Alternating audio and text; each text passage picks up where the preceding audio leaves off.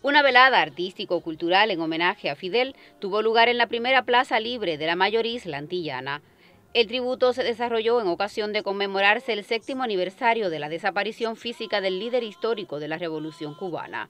El mismo estuvo presidido por Yanaisi Caponápoles, miembro del Comité Central del Partido Comunista de Cuba y su primera secretaria en Granma, entre otros dirigentes políticos y del sector cultural en este territorio. Que la lucha mi papel, si cambiando mi nombre, su nombre se perpetúa y se acentúa. Entonces yo soy Fidel.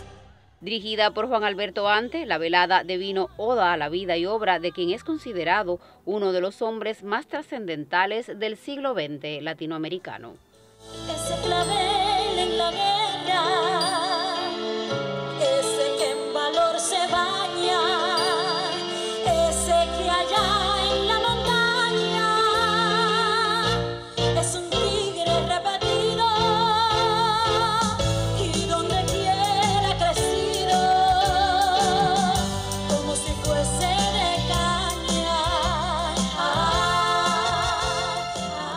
En Granma, Jacqueline Pérez, Canal Cubano de Noticias.